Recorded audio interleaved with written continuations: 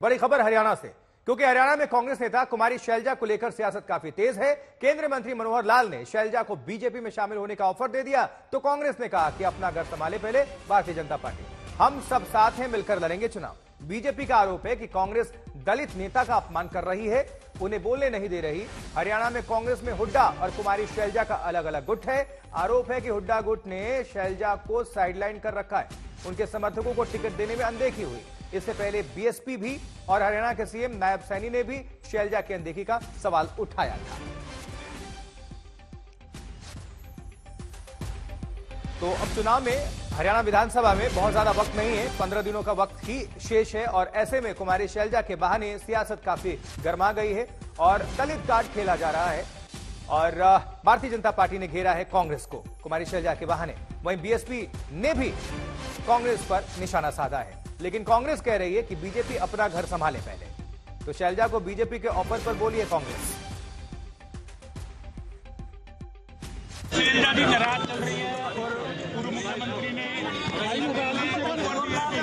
स्वीकार नहीं किया है कि वो बीजेपी में भी आ सकती है कुमारी शैलजा सारे कांग्रेस के नेता मिलजुल के चुनाव ये लड़ेंगे और सभी आपको चुनाव प्रचार में दिखेंगे। ये लोग हमारी चिंता बहुत कर रहे हैं। उनकी चिंता पहले करने दो ना। वहाँ इतना फूट हो रहा है इतने लोग छोड़ के चले गए।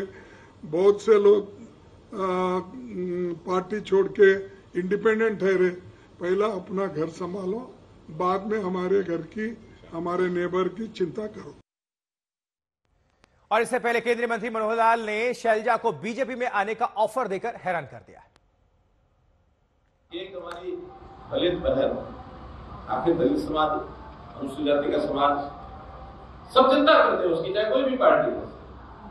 सम्मान सबको प्यारा है अपमानित करना ये समाज में वर्जित है, लेकिन इनको शर्म नहीं आई। उस बहन को गालियाँ तक दी इन्होंने। ऊपर बैठी अपना आराम से। एक बड़ा वर्ग आज सोच रहा है कि हम क्या करें। बहुत लोग इनके पहचान निराश हुए। हमने ऑफ़र दे दे के उनको अपने साथ मिलाया है। हम तो तैयार हैं इस ऑफ़र के लिए आज तो हम तैयार हैं उनको मिलाने वहीं हरियाणा के मुख्यमंत्री नायब सैनी ने भी कांग्रेस से नाराज़ चल रही शैलजा पर फूले नहीं समाये और क्या कहना है उनका? आप सुनवाते हैं।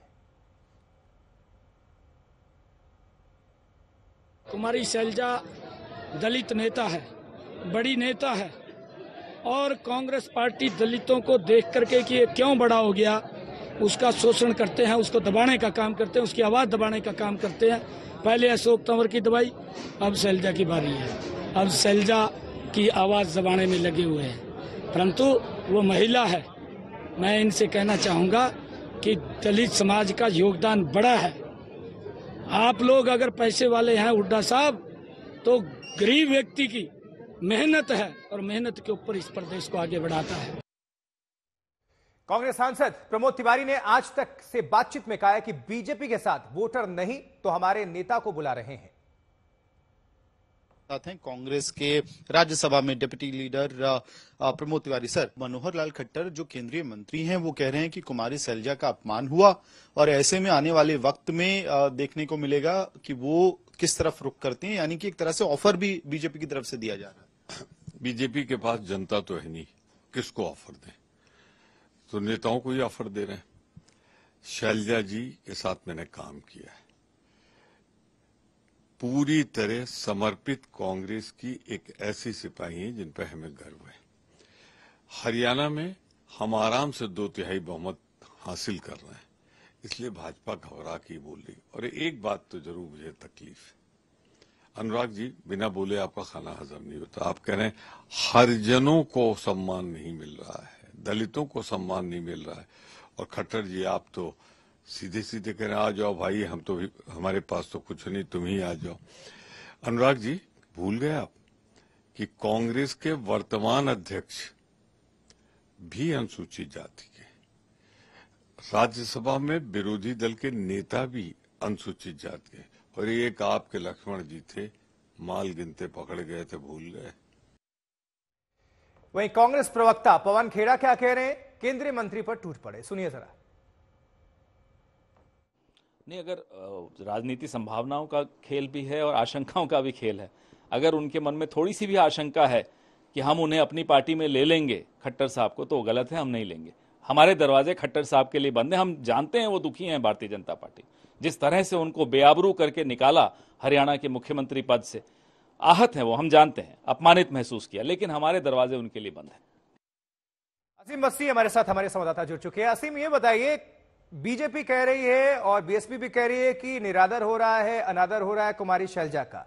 कांग्रेस कह रही है कि सच्ची सिपाही हैं, वो कहीं नहीं जा रहे लेकिन कुमारी शैलजा क्या कह रही हैं? कोई प्रतिक्रिया, कोई रिएक्शन अभी तक उनका सामने आया है क्या? नहीं, अभी तक उन्होंने इस पे कोई वॉइस रेज नहीं किया, लेकिन डेफिनेटली एक इश्यू तो है कि हाँ थोड़ा सा वो कैंपेन से मिस आउट नज़र आ रही हैं, क्योंकि उसे हमने देखा जिस दिन मैनिफेस्टो लॉन्च भी था, उस दिन भी वो एबसेंट थी, क्योंकि शुरू से वो कह रही थी कि वो इलेक्शन लड़ना चाहती हैं, क्यों वो सीएम नहीं हो सकती? उन्होंने बोला कि हाँ हर बंदा, हर बंदे का एम्बिशन होता है एम होता है, और वो भी टिकट चाहती हैं, लेकिन जब टिकट एलोकेशन हुआ तो किसी भी मेंबर पार्लियामेंट को टिकट नहीं दिया गया, चाहे वो रणदीप सुरजेवाला हो, चाहे वो कुमारी शैलजा हो, और उसके बाद से लगातार जो अटैक हैं हो गए, शुरू हुए हैं, और बीजेपी इस चीज़ का फ़ायदा उठा रही है क्योंकि कांग्रेस में कई स्टेट्स में रिफ्ट होती है। यहाँ पे भी Bhupendra Singh Hooda former chief minister रहे हैं कुमारी शैलजा ने भी एम्बिशन दिखाया था कि मैं सीएम बनूँगी। और इसी इसी को देखते हुए और उनकी एब्सेंस को देखते हुए कैंपेन से लगातार जो है बीजेपी अटैक की है किया है और खट्टर ने भी यही ऑफ़र इसीलिए दिया है। हालाँकि कुमारी शैलजा की तरफ़ से इस तरह का कोई रिस्पॉन्स नहीं आया है। हुड्डा भी बोलते हैं आज दीपेंद्र हुड्डा ने भी बोला कि कांग्रेस के लीडर यूनाइटेड हैं यूनाइटेड होके ही इलेक्शन लड़ रहे हैं। और बहुत ज़्यादा एक दूसरे के खिलाफ कहीं स्टेटमेंट नहीं आई है, लेकिन डेफिनेटली ऑपोजिशन इसका फ़ायदा उठा रही है और खट्टर ने तभी ये ऑफ़र दिया है। जी हाँ। ठीक है, असीम, आपका बहुत बहुत शुक्रिया इस खबर पर जानकारी पहुँचाने के लिए।